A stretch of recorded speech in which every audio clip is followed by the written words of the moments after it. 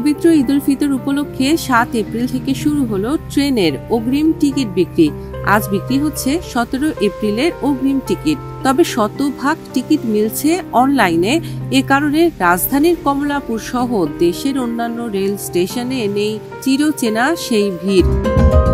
একইভাবে আট এপ্রিল, আঠারোই এপ্রিলের, নয় এপ্রিল, উনিশ এপ্রিলের, দশ এপ্রিল, বিশ এপ্রিলের এবং এগারো এপ্রিল বিক্রি হবে একুশ এপ্রিলের ঈদ যাত্রার টিকিট।